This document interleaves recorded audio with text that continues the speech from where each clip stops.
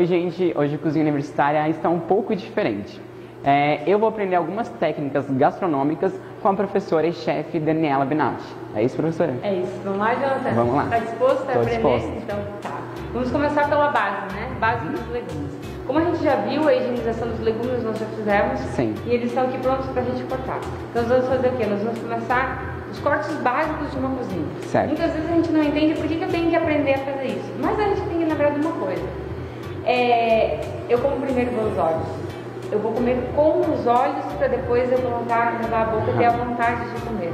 Então a ideia dos cortes é eu manter um padrão de apresentação. A gente sempre aproveita as aparas, na cozinha a gente toma cuidado para evitar o desperdício, para diminuir esse desperdício, né? ajudar o meio ambiente, em toda essa questão ambiental que a gente tem, mas a gente precisa deixar a comida bonita.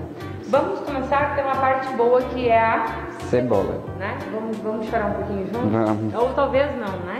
Nós temos aqui um bol que nós vamos fazer de lixeiro para fazer o descarte, uma faquinha pequena que a gente chama de legumeira. tá? Legumeira. Isso. Aí a gente vai cortar, coloca assim a pontinha da, da faca. Aqui mesmo. Isso. E gira ela que ela vai.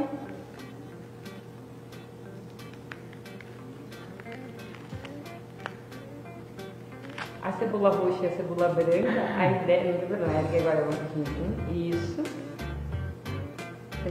Pode entrar com a parte de baixo da faca. Hum. Ah, ela é uma gêmea. Isso que você tá sofrendo. Ela é uma trigêmea. Gente. Aham, ela é uma trigêmea. Isso que tá sofrendo. Tá, do outro lado também? Do lado também. Essa é, uma, é a raiz da cebola, certo? Certo. Essa raiz, se você não tirar com profundidade, assim como eu tirei, ela vai ficar inteira.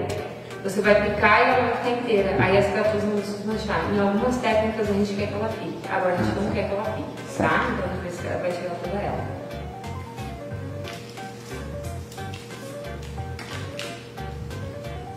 Pode puxar pra baixo, ó. Ó, já foi melhor, pessoal. As três consegui tirar. Conseguiu, é. Ela é uma trigêmea da cebola. Eu vou fazer um pequeno corte assim na casca para tirar a primeira camada da cebola. Porque onde, como uma, é uma, é uma, a, a casca dela é muito fina, o que acontece? Pode ter acontecido alguma coisa nesse processo da cebola, até ela colher, até ela chegar na nossa geladeira. Então essa primeira camada aqui, eu tiro ela fora. Eu descasco ela inteira. É, você vai ter mais de uma. E eu já comecei a chorar, você não Ainda não. Você vai passar a faca aqui, vai tirar essa ponta que está estragada, mas agora a gente vai começar a usar a faca grande. O que acontece? Nós temos vários modelos de faca e muitas vezes as pessoas quando olham uma faca maior ficam, ficam com receio de utilizar ela. Precisa ter firmeza na mão. Se você precisa segurar ela um pouquinho mais para frente, segure na lâmina, né, digo. Mas você tem que segurar sempre nessa posição. Então você vai precisar segurar com a tua mão esquerda a cebola, que no teu caso está assim, e você vai vir com um corte preciso. Se você precisar fazer aquele momento de vai, o movimento de vai e vem, como você está treinando, você faz esse movimento Tá. de vai e vem. Diferente que eu já tenho habilidade, vou entrar com a faca inteira. Certo? Agora você vai deixar ela em pé. Ao contrário, essa base está maior, aqui ó, e vai segurar ela e vai partir ela ao meio? ao contrário. Isso. Aí você segura ela, isso, vem com a mão. Perfeito. É a ideia. Nós vamos fazer o corte a julienne, que é um corte básico. Nada mais é do que ela em tiras. Ele, se eu cortar a minha cebola assim, vou cortar assim maior, tá? Se eu fizer esse corte, tá vendo que as fibras dela são assim, né? Se eu cortar ela assim, eu não estou fazendo julienne, eu estou fazendo em meio amor. Juliane e meio amor. Isso mesmo. Olha a meia lua. Ela está em formato de meia lua, certo? O outro corte que nós vamos fazer agora, que é o julienne, nada mais é do que ela está pelo comprimento. Então eu vou pegar a minha cebola, a minha mão em forma de garra, porque eu estou segurando os meus dedos, protegendo eles. Não é uma, uma posição fácil, então eu seguro da maneira que você se sente mais confortável. E a gente vai vir com a faca. Eu não, se você não consegue ainda fazer o movimento vai vem, você vai reto. Só que eu tenho que cortar fininho, porque o julienne tem uma espessura, pode ser grossa, pode ser fina. Como é que é a primeira vez, a forma como sair precisa de treino para desenvolver a habilidade. Assim, né? Assim, exatamente. Segura, exato.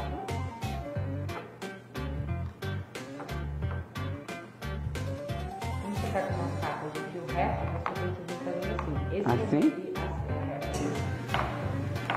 é reto, entendeu? Porque você não. Essa ponta dessa faca aqui. Vai fazer com que faça esse movimento. Vamos para o nosso alho. Alho é uma coisa bem simples, né? Qual é o que a gente faz para pescar um alho?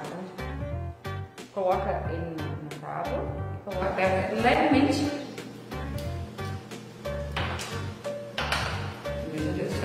Entendeu? Ó, vou tirar a mão dele. E eu não precisa apertar muito, porque eu não quero esmagar o alho. Segurar ele aqui e vai fatiar ele. O que eu posso fazer? Eu posso fatiar pelo comprimento, tá aqui, ó. Eu vou fatiar pelo comprimento. Abro ele duas vezes e depois eu vou cortar julienne. Certo?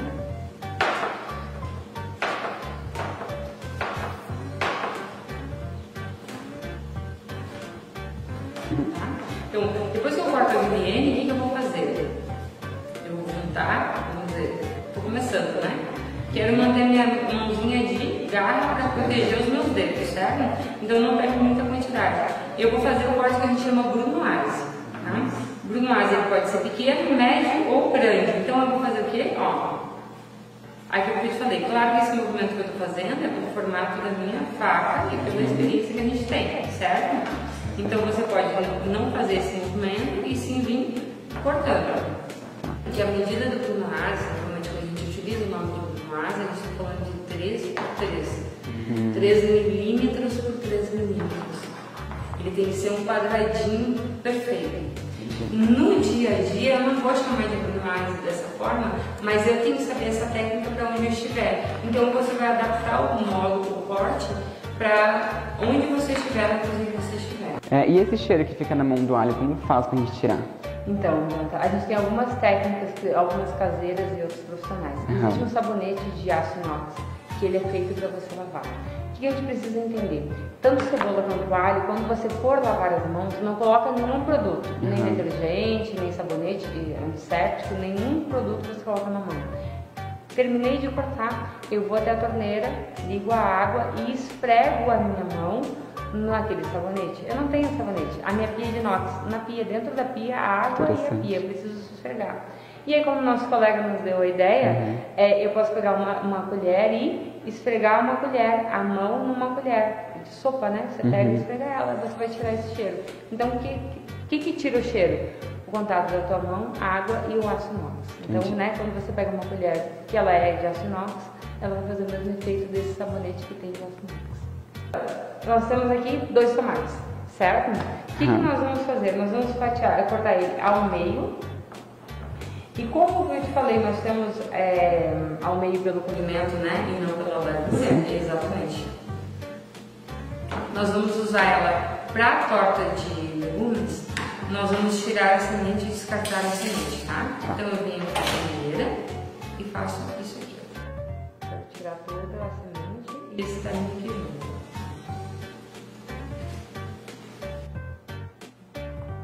Algumas pessoas cortam com um faquinha de serra. É errado, é certo. Eu preciso achar uma forma de cortar sem esmagar o tomate. Esse é o certo, eu não posso esmagar ele. Então qual é a dica que a gente dá? A casca do tomate que manda mais dura sempre para baixo. E o que eu vou fazer? Novamente um julienne. Porque a gente quer cortar ela em cubos, certo? Só que eu vou te dizer uma coisa. Aqui eu cortei um julienne médio. Tá vendo aqui a espessura? Vamos colocar aqui a espessura do tomate. É, julienne grande. A gente chama porque a gente vai fazer o quê? A gente vai fazer os cubos. Eu faço aqui e aí eu vou fazer os meus cubos.